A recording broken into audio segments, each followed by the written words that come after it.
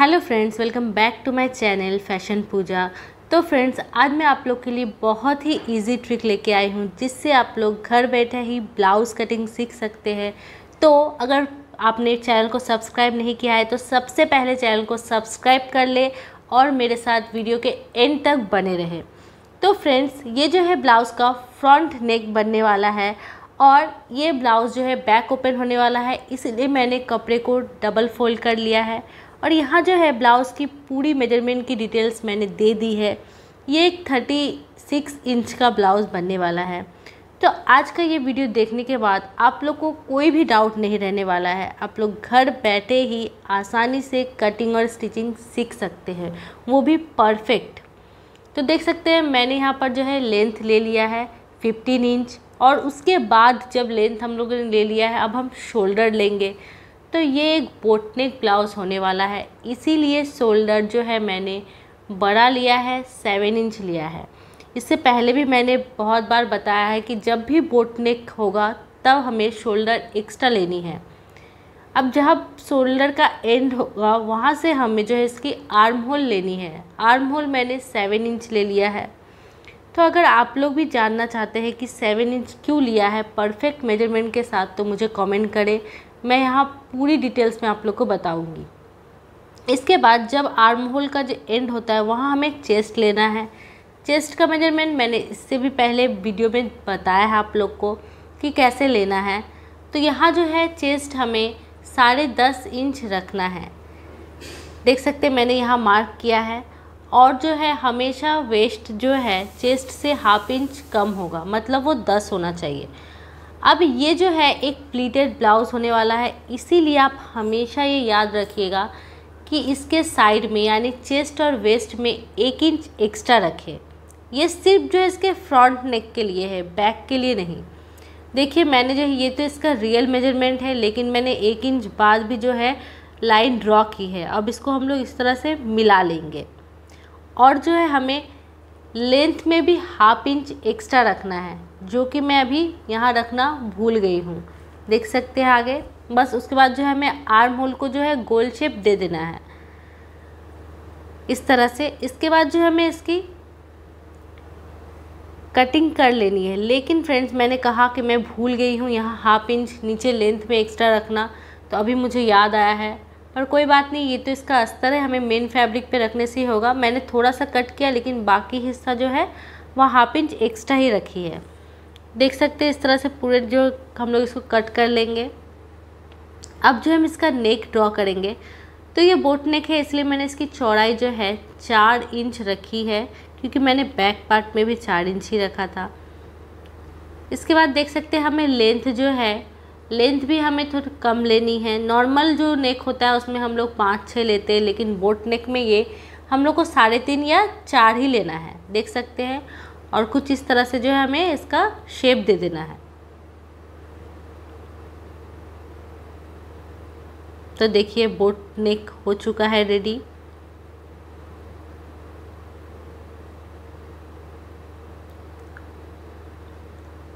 अब जो है फ्रेंड इसका मेन जो टफ पॉइंट है, इसकी प्लीट तो बहुत किसी को कन्फ्यूज़न होता है कि प्लीट हमें कैसे रखने हैं, कहाँ से हमें प्लीट बनानी है। तो देखिए, सबसे पहले तो हमें ब्लाउज के वेस्ट का जो है, उसका माप लेना है। तो वेस्ट तो हमारा जो है साढ़े दस, उसके बाद एक इंची साढ़े ग्यारह थी तो हमें उसका हाफ़ लेना है। मतलब हमें साढ़े दस का ही हाफ़ लेना है। तो ये जो है, यहाँ मैंने हाफ़ ले लिया है और वहाँ एक मार्क किया है। इसके बाद जो हमें लेंथ साढ़े चार ले लेनी है। ये आप अपने लेंथ के अकॉर्डिंग लीजिएगा। अगर लेंथ ज़्यादा लंबी है ब्लाउज़ की तो ये पाँच, साढ़े पाँच भी हो सकता है। लेकिन ज़्यादातर जो है, ये आप साढ़े चार या पाँच के अंदर ही रखें। इसके बाद देखिए, सेम हमें गले के साइड में भी जो है मेज़रमेंट ले लेना है और इसका हाफ़ हमें पॉइंट कर लेना है। देख सकते हैं। और जो है, और एक तरीका है, आप हर दो इंच, देख सकते हैं, इस प्लीट से जो है हम लोगों ने दो इंच को रखा है। देखिए यहाँ पर। और यहाँ पर हमें एक निशान बना लेना है। देख सकते हैं। और ये जो प्लीट है फ्रेंड्स, हमेशा आप लोग इसको याद रखिएगा, ये जो है ब्लाउज़ के चारों कोनों से होगा। देखिए, फिर हमें जो है दो इंच फिर हम लोगों ने मार्क कर लिया है। अब ये आर्म होल के साइड से बनेगा एक। देख सकते हैं। और फिर जो है हमें फिर दो इंच का मेज़रमेंट ले लेना है और फिर जो है ये साइड के तरफ़ और एक प्लेट बनेगा। टोटल चार प्लेट। और वो भी चारों कोनों से, आप लोग देख सकते हैं। कुछ इस तरह से इसका लुक आएगा।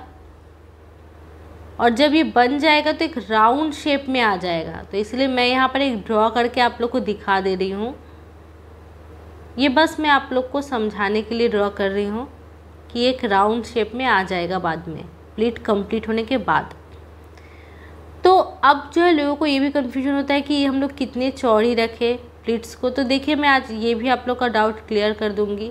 तो ये जो नीचे का प्लीट है, ये हमें एक इंच जैसा चौड़ा रखना है, देख सकते हैं। कुछ इस तरह से जो है इसकी चौड़ाई होगी प्लीट की। और आप लोग को सबको पता है कि प्लीट हमें कैसे देनी है। नीचे से चौड़ा होते हुए ऊपर पतला, जैसे मैंने ड्रॉ किया है सेम वैसे ही। और सेम साइड वाला जो नेक के साथ है, उसे भी हमें थोड़ा चौड़ा रखना है। लेकिन जो आर्म होल वाला जो प्लीट है, वो बहुत ही पतला होगा हाफ़ इंच उससे भी कम। इधर देखिए, ये साइड वाला भी सेम आर्म होल जैसा ही होगा हाफ़ इंच या उससे भी कम आप रख सकते हैं। तो देखिए, हमारा चारों प्लीट जो है, इस तरह से बनकर रेडी होगा। और आप लोग को जो है कोई भी प्रॉब्लम नहीं होगी। बस आप लोग को याद रखना है कि दो प्लीट आप चौड़ी रखनी है और दो पतली। तो मैंने नेक को भी यहाँ कट कर लिया है और सेम जो है इसके बैक में भी हम लोग उसी जगह पे ड्रॉ कर लेंगे ताकि बाद में प्रॉब्लम ना हो। अब जो हम यहाँ स्लीव्स कट करेंगे तो सबसे पहले हम लोग कपड़े को चार फोल्ड कर लेना है, फिर लेंथ ले लेनी है और देख सकते हैं लेंथ के जो है हमें, जिसकी चौड़ाई जो है हमेशा जो आर्म होल रखा है उससे डेढ़ इंच एक्स्ट्रा लेनी है। और आर्म होल का हाफ़ यहाँ मैंने लिया है और इस तरह से तिरछा करके ड्रॉ कर लेना है। देख सकते हैं, और से नीचे हमें जो हाथ की जो गोलाई होती है, उसके हिसाब से रखना है एक इंच एक्स्ट्रा ऐड करके और फिर कट कर लेना है। तो ये ग्लास स्लीव्स है।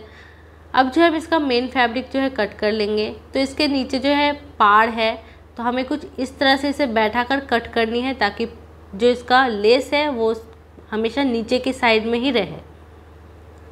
तो देख सकते हैं। इस तरह से जो है कट कर लिया है। और देखिए हमारा जो लेस एकदम परफेक्ट जगह पे है। सेम जो है हम इसको भी फैब्रिक पे बैठा कर जो है कट कर लेंगे। देख सकते हैं। अब जो हम लोग इसकी स्टिचिंग करेंगे तो सबसे पहले जो है आप लोग कपड़े के ऊपर फैब्रिक को जो है बैठा कर सेट कर ले, उसको स्टिच कर ले चारों तरफ़ से।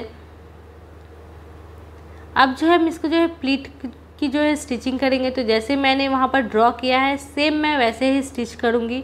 देख सकते हैं। ये हमारा साइड वाला प्लीट था, मैं डबल स्टिच कर लेती हूँ ताकि जो है सिलाई जल्दी ना खुल जाए। फिर ये हमारा आर्म होल के साइड का जो है प्लीट है। अब जो ये मिडिल वाला प्लीट है तो ये जो है बैक ओपन है, इसलिए बीच में कोई कट नहीं है तो हमें एकदम जॉइंट से पूरे इस तरफ़ से उस तरफ़ तक मिला लेना है इस प्लीट को। देख सकते हैं।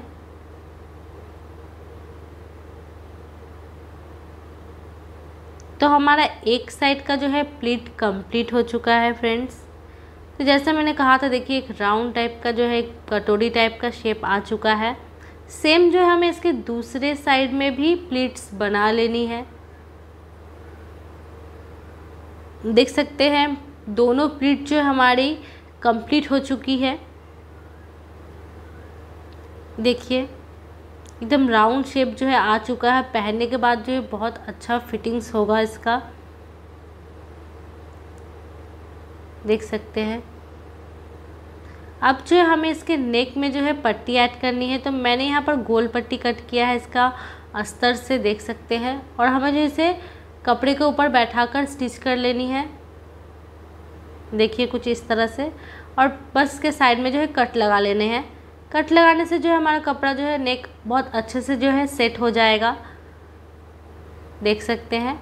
अब जो है इसका बैक पार्ट जो मैंने पहले रेडी कर लिया था, देख सकते हैं। बहुत ही सुंदर इसका बैक नेक है। अगर आप लोगों ने वो वीडियो नहीं देखा है तो आई बटन पे क्लिक करके देख सकते हैं कि किस तरह मैंने एक सिंपल से ब्लाउज़ को इतना सुंदर डिज़ाइनर बनाया है और आप लोग भी ऐसे देख कर बना सकते हैं। तो ये इसका बैक पार्ट है। जल्दी से जाइए और आई बटन पे क्लिक करके देख लीजिए। और देखिए, इसके साथ जो हमें इसका शोल्डर ऐड करना है। तो हमेशा आप लोग शोल्डर को ऐसे ही ऐड करें कि पट्टी को जो है सीधा रख कर बैक पार्ट के साथ इसको अटैच कर लीजिएगा। ताकि फिनिशिंग अच्छी आएगी। मैं हर वीडियो में हर, हमेशा जो है शोल्डर को स्टिच करते समय ये ज़रूर बताती हूँ कि ऐसे ही आप लोग शोल्डर को अटैच कीजिएगा। तो देखिए, कुछ इस तरह से जो हो जाएगा। सेम हमें दूसरा भी शोल्डर ऐड करना है और बस पट्टी को अंदर की तरफ़ रख कर ऊपर एक चाप सिलाई लगा लेनी है। देख सकते हैं। अब हमें इसके ऊपर लेस ऐड करना है, जैसे कि हम लोगों ने बैक में किया था। सेम वैसे हमें इसके ऊपर लेस ऐड करना है। और जहाँ भी आपको लगे कि थोड़ा राउंड नेक है तो वहाँ आप छोटी छोटी प्लीट बना सकते हैं, ताकि लेस जो है पूरी अच्छी तरह से सेट हो जाए इस पर और एक फिर से नीचे एक चाप सिलाई लगा देनी है हमें, ताकि हमारा जो लेस है वो पूरी तरह से बैठ जाए सेट हो जाए। तो देख सकते हैं हमारा नेक यहाँ पर कंप्लीट हो चुका है। बोट नेक कितना सुंदर लग रहा है। लेस लगाने के बाद देख सकते हैं। अब जो है हमें इसे कमर में जो है पट्टी ऐड कर लेनी है।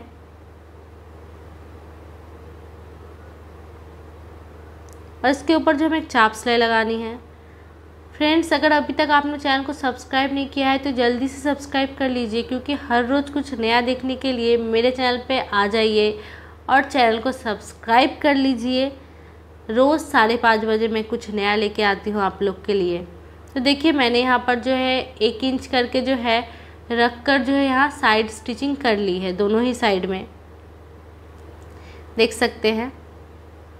इसका पूरा लुक देखिए, अब हम लोग जो है मेज़रमेंट कर लेंगे। अगर आप लोग को ऐसे करके जो अगर लगे कि कम है या ज़्यादा है तो फिर आप स्टिच कर सकते हैं।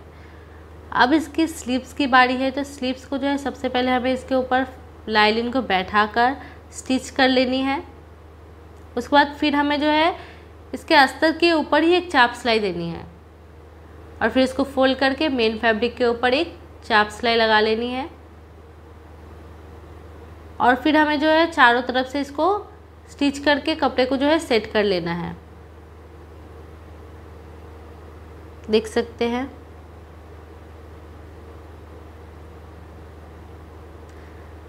अब जो है, हमें हाथ का जो भी हमारा जो मेज़रमेंट है, उसको रख कर जो हमें स्टिच कर लेनी है, देख सकते हैं।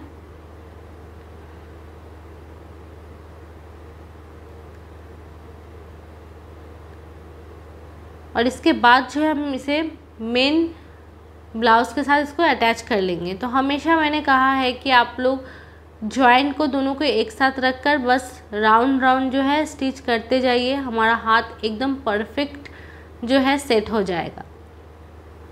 देख सकते हैं, इसी तरह हमें राउंड सिलाई करते जाना है।